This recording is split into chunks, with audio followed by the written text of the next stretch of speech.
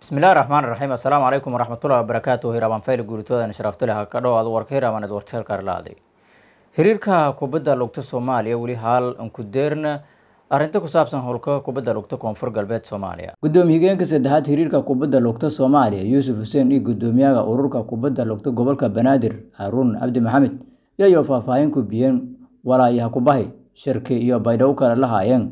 Xiriirka kubadda lugta koonfur galbeed iyo mas'uuliyiinta wasaaradda ciyaaro iyo dhalinyarada koonfur galbeed ee ku eedan hanababka ciyaaryahanada koonfur galbeed sidii qiimankunagada lahaayeen. Koobka tartanka dowlad goboleedyada ku dareera iyo gobolka banaadir kaasoo iyo dhowaansi rasmi aan ku baxeen. Hulka koonfur galbeed soomaaliya kureed markii dhibaato lankajeysida beledka muqdisho xilli al ciyaareen dhasho galmudugga gudoomiye higeenka saddexaad xiriirka yuusuf xuseen iyo gudoomiyaha ururka kubadda lugta ee gobolka banaadir iyo yus wada jare warteeladan dhadowaheen waxaan halkaan u dhibka gaaray oo aan u daba soconay maadaama aan nahay xiriir kubadda cagta iyo maamul goboleedyada iyo gobolka isboortiga kubadda cagta ee gobolka banaadir. In wixii halkaas ka dhacay aanan raalli ka ahayn. Sidaas daraaddeed halkaas waxaan u intaas. Nimanka walaalaheena markaan u sheegnana way naga qaateen. Intaas waxaa soo raaco wixii hadda ka dambeeyo maadaama aan ciyaarihii aan mas'uul ka nahay haddii sida hore ay u dhacday oo hore loo qaban jiraba ay timaado waxaan diyaar u nahay xiriirka soomaalka kubadda cagta haddii aan nahay inaan sidii hore ku soo celino. Wax allaale wixii walaana ay tabanayaan way ogol yihiin haddii sidii hore lagu soo celiyo laakiin sidaa hadda jirto oo hadda ay ku socdaan ciyaaraha maamul goboleedyada gobolka iyo iyo gobolka banaadir ma noqon doonto in la sii wadi karo. Sababtoo ah hadda hawshii xiriir kubadda cagta wixii uu ka mudnaa meesha kama kama haysto. Marka saas daraaddeed waxaan go'aan ku gaarnay in inta xal laga helaayo walaalin koonfur galbeedna ayagana ay nala ogolaadeen in ay joogaan. Haddii xal la helo oo sidai aan ku heshiino ay timaadana in loo soo celiyo meeshoodii oo ay raalli ka yihiin. Laakiin haddii ay taagan tahay sida hadda ay ku socoto hawshaas inaysan soo noqonaynin annagana aanan ku qasbi karin iyagoo ka tirsan xiriir kubadda cagta ee soomaaliya xubinka ah. Sidaas daraaddeed waxaan mar kale soo jeedinaa in sida hadda hawsha ay tahay wax laga bedelo oo la sameeyo maamul wadareed sida hore loo samayn jiray oo ay hore loogu qaban jiray. Haddii ay taas timaado annagana waxaan diyaar u nahay wax allaale wixii nimankan maamul koonfur galbeed maamulka ah ay tabanayaan inaan ka xaal marino hawshani sidii hore loo galo. Laakiin sida hadda ay taagan tahay wax laguma qaban karo. Ayagana ayagana go'aankaas ay qaateen waa u garawnay waana wax loojig oo sax ah. Sidaas daraaddeed waxaan hadda nimid inta saas waaye waxaan isku afgaranay sidaasaan isku afgaranay haddii alla ka dhigo. Aan aad ugu mahad celinaa maamulka guud ee koonfur galbeed ugu horreeya madaxweynaha koonfur galbeed dhammaan golihiisa baarlamaanka wasiirada dhammaan iyo mas'uuliyiinta dalka iyo gudoomiyaha gobolka dhammaan madaxda waa mahad celinaynaa marka xigana waxaa mahad gaar iska leh ururka kubadda cagta koonfur galbeed oon maanta u nimid soona aadnay anigoo anagoo ku hadlaya magaca isboortiga dhammaan ururada kubadda cagta maamul goboleedyada. Xaqiiqdii waa dareemi kartiin sababta inta u imaanay maxaa yeelay anaga waxaan nahay dad ka shaqeeya footballka. Kubadda cagta kubadda cagtana waxay leedahay hay'ad ugu sarreysa dalka oo maamusho. Waxaan mar kale u mahad celinaa mas'uuliyadda ay qaateen xiriirka soomaaliya kubadda cagta iyagoo ilaalinayo waxyaabihii ka soo baxay communikeygu hore ku cusnaa marka mar kale waa mahad celinaa xiriirka soomaaliya kubadda cagta mar kale waa mahad celinaa maamulka guud aniga matalaya ugu horreeya duqa magaalada muqdisho iyo dhammaan mas'uuliyiinta gobolka banaadir. Anoo ku hadlaya magaca isboortiga gobolka banaadir guud ahaan gaar ahaan kubadda cagta iyo kan ururada kubadda cagta maamul goboleedyada iyo dhammaan mas'uuliyiin iyo bahda kubadda cagta waxaan aad uga xunnahay dhibkii gaaray walaalaheen koonfur galbeed. Raallina kama nihin aniga footballka isdhexgal bulsho waaye waa sporti wuxuu abuuraa isjeceyl isdhexgal bulsho intaba footballka abuuro. Marka waxaan leenahay wixii dhacay waxa aan ka xunnaha waaye. Xaqiiqdiina waxaan u mahad celinaa mar kale gudoomiyaha ururka kubadda cagta koonfur galbeed walaalkii axmed dolar iyo ku-xigeenadiisa iyo xogeyaha guud iyo dhammaan xubnaha. Waxaan leenahay aada umahadsantihiin soo dhaweyntiina qaaliga ah qalbigiina nadiifka ah. Sidaa u jeceshihiin isboortiga dalka guud ahaan gaar ahaan kubadda cagta. Waxaan leenahay waxaad tihiin tusaale u tihiin maamul goboleedyada kale waana idiin mahad celinaa anoo ku hadlaya magaceena iyo ururada kubadda cagta maamul goboleedyada xaqiiqdii waxaa halkaa u nimid sidaa ogtihiinba dhacdadii ka dhacday ku dhacday ciyaartooyda koonfur galbeed mar kale aan ku celinaa waa ka xunnahay waa ka xunnahay waa ka xunnahay in in isboortiga heerkaas uu gaaro aweystimo wartaal karlaadi muqdisho dowladda etoobiya u diidinay ku qeyb gala shirka igad ee ka furmao dalka uganda cabdiraxmaan sacuudi faafahinta warkan haay dowladda itoobiya diidiiniya ku qiibgala shirki igaad oo lankudahowi lahaaye heshiiskiiyo kala saxiitii somalilan oo dhaawacwii uusa kahaayay madabanaanada soomaali. Kulunkun igaad iyo ilaamadii iyo weliba uusa ka dhigi lahaayay bilidka kambaale ee dalka uganda.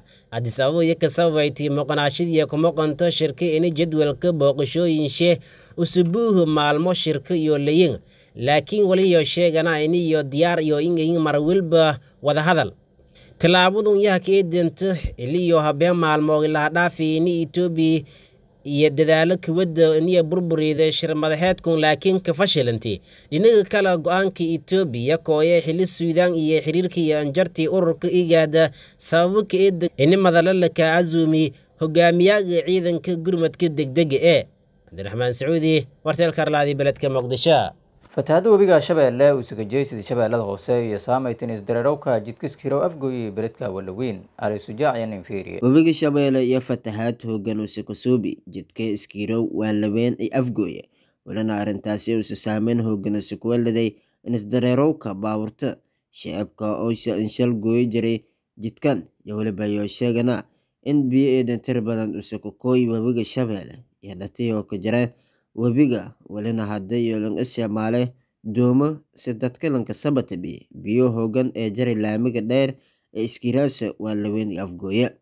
Maamulka gobolka shabeellada hoose iyo kan degmooyinka waa laweyn iyo afgooye iyo weli ku hadalna dhibaatada taala jidkan muhiimka qeybo kumid ee daraawalada baawurta isticmaalasa jidkan yaa sheegay inay fatahaadanayo sinwiyi saameyti nolol maalmeedka shaqooyinkii ooyo kahaysadaan jidkan maadaama haddii laamigii hirimi iyo adkaadasa in lanshalgoodo ama lanshalguduba afgooye iwaan laweyn dhinisho rago oo hadda ku howlan samatabiyowka dadka ee daraawalada kae doomo iyo dalbada in laladeera doomo oo kaloo dheeraade siiyo fududaata samatabixinta ee dadka. Fatahaada webiga shabeelle iyo weliyaa ka sii dareertay tuulooyin badan oo waana ku mid ah. Gobolka shabeellada hoose welinayo saamaytay dhulbeeraad oo eedan ballaaran biyo iyo weliba yoolaseedana ee markaasi la tabeenayro dalagyo shal duwan oo dadka sanadkan iyo ka taamayaan inagoo ku faa'iidaysada. Cali maxamed shijaac warteelka arlaadi beledka muqdisho. Shirkadda hormuud telecom ayaa sheegtay inay qaraxgii kudhihi degmada hamarweyne la bartilmaameedsaday haruntiya waaniya ka amudan aanu ku mid a shaqaalo jeed. Cabdirasaaq muhandas iyo ninferiya warkan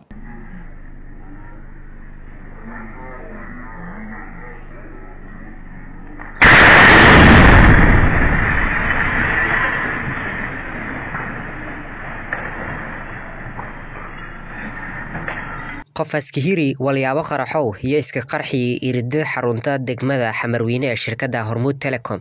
Sida wararka ka helnay weliba qaraxa ka dhamaday cabdirasaaq cali maxamuud oo ku mid tahay howlwadeennada shirkadda hormuud iyo lama qof kale. Qaraxa weliba saas oo kale burbur injeysaday xarunta shirkadda ee degmada xamarweyne. Qaraxyadun iyo noqdaaen weerarkii tumii koowaad ee laga qaaday shirkadda hormuud oo bililahdhaafi wajahaasi qaraxyo iyo weeraro ku dhiyaay magaalada muqdisho lakala fiirsadaya xarumo qalabka baabuurta iyo shaqaalaga shirkadda oo iyo ku dhaladeen khasaare nafeed iyo toohanteedeedba cabdirasaaq cabdulaahi aadan warteelka arlaadi beledka muqdisho wasiirka maaliyadda soomaaliya oo dadka gobollada waqooyi ee soomaaliya aan ka baagay inuu iska difaacaan dowladda etoobiya wasiir bihi imaan dhiga wasiirka wasaaradda maaliyadda dowladda federaalka soomaaliya iyo uusalisbeenaadka dhammaray dhowaan muuse bixi ulaayka mudaleeshay dhammaaday somalilan iyo ra'iisul wasaaraha etoobiya uusa ka tilmaamay gowalban ku jaran walin uusa dadka gobollada waqooyi ee soomaaliya uusan ka baagay inayo isku difaacaan duulaanka gaawan ee badyo ha ka qaaday dowladda etoobiya waanan ogolaan inay qaadata etoobiya iyo cid kasta oo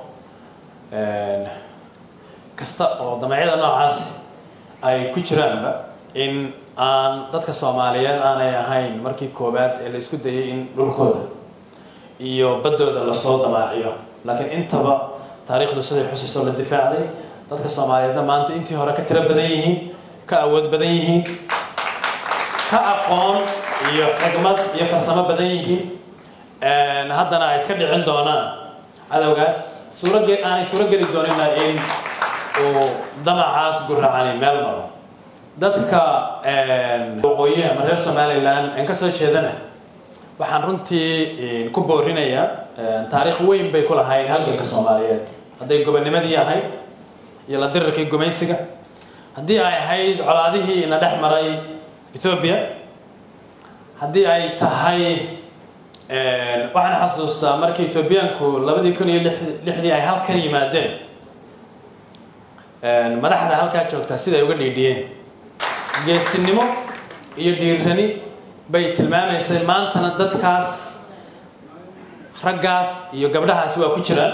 Waxaan filayaa oo ku rajo weynahay oo haddaba muuqata inaanay marnaba aqbali doonin in dhulkooda iyo dadkooda uu qaato cadow